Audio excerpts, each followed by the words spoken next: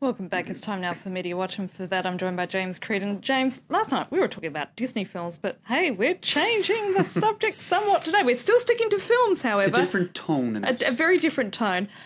The trailer for a movie about Dominique Strauss Kahn has been released, and it's pretty provocative. So much so that when you showed it to me, I had to cover my eyes at some point. You, you had to wipe your brow in it. It was, it was, it was distressingly graphic. Now, two years ago today, Annette, a man was arrested in New York, and everybody was wondering what exactly did go on in room 2806 of the Sofitel Hotel in New York. Can you tell me what your problems are?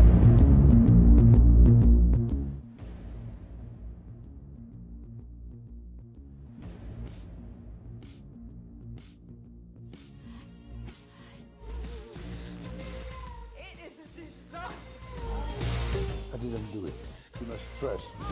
That's not. So there you go. Uh, that's uh, one uh, one extract from uh, the the trailer. We had to edit it pretty uh, pretty heavily in it because it's it's pretty graphic. Very very graphic trailer. A lot. Of, I think it's not really for uh, viewing by children, shall we say. That is Abel Ferrara, the director who is behind that. Uh, Gerard Depardieu, as you saw, is playing the role of Dominique Strauss-Kahn.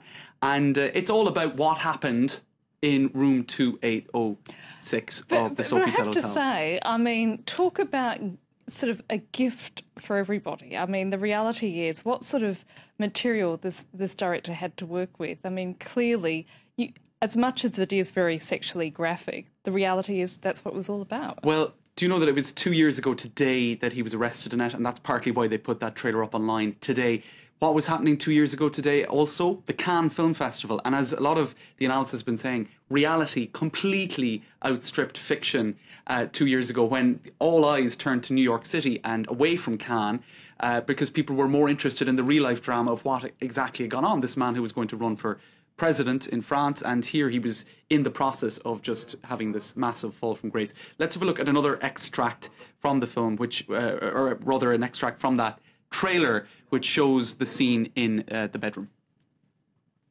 What do you prefer, play golf?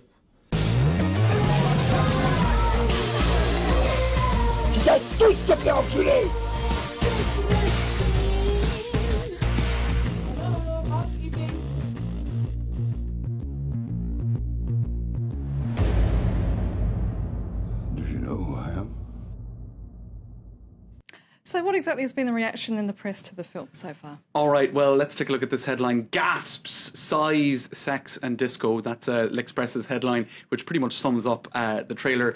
Annette. Uh, now, it's it, they were in filming. It was at the Tribeca Film Festival, I believe, as well, uh, before going down to Cannes. I think the public won't get to see it until next year, in fact. And uh, the actress who played um, his wife, or his now ex wife, uh, Anne Sinclair, is uh, also featured there, Jacqueline Bisset.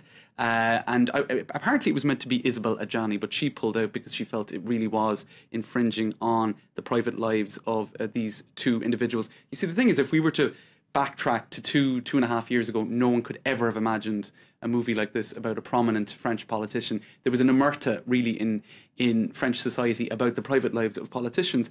Some of it with good, um, you know, intentions behind it, uh, having a separation between the public and the private sphere. But the fact that Dominique Strauss-Kahn having the private life that he had, thought he could run for president, and that none of this would come out is really telling of how different uh, the perception of private life and, and where the divide with public life was just two years ago. It was a right? watershed in French politics, absolutely, Absolutely, that's exactly it. And just to show you the, the extent to which he's become a cult figure now, Dominique Strauss-Kahn, there was also a book um, if I could fast forward to it, uh, there was this article, of course, famously by Jay Epstein in the New York Review of Books. What really happened to Dominique Strauss-Kahn? There was a, the, a, book that came out just a couple of months ago by uh, another of his lovers, uh, Marcela Iacub, Beauty and the Beast.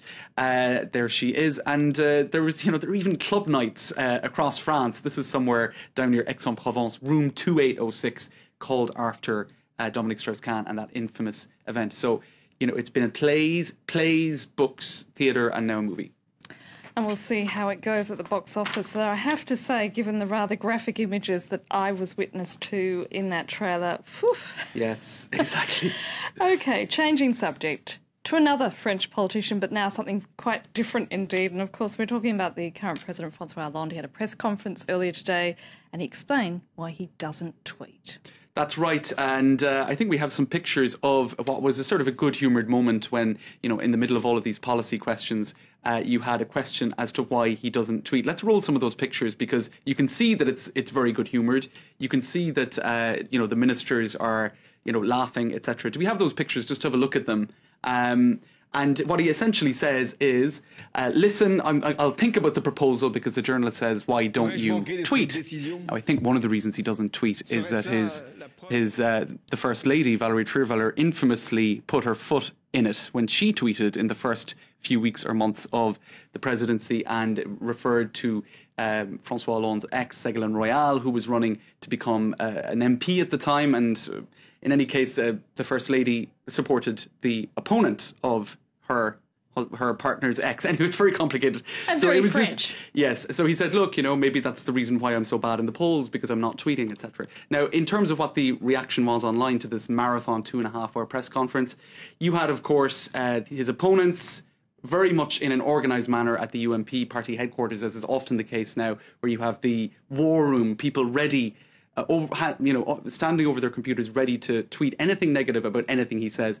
So the the buzzword from the opposition side has been "échec Hollande," right? Failure Hollande, the failure. And right back to the 5th of May, uh, when it, people were talking about his first year in office or the anniversary of his first year in office, you saw posters like that one circulating on social media on the other side of the political divide, you had uh, the Elysee and everyone who was trying to kind of generate positive comment for the president on social media using the hashtag ConfPR, PR for President of the Republic, you know, very technical hashtag. So it's interesting to see how social media is being used as a political tool now, both by um, you know, the, the, I suppose supporters of the president with these technocratic sort of hashtags, and then by his opponents with, you know, very politicized, politicized slogans. You know, I do remember a number of years ago, in fact, only a few years ago, arguing with some of our colleagues that it, Twitter was not just for teenagers, and I think I've been proven right. It's for the journos too. James Creedon, thank you so much, as always. Thanks, That's James Creedon with Media Watch. But do stay with us because coming up, we'll be taking a look at what's been making waves out there in cyberspace.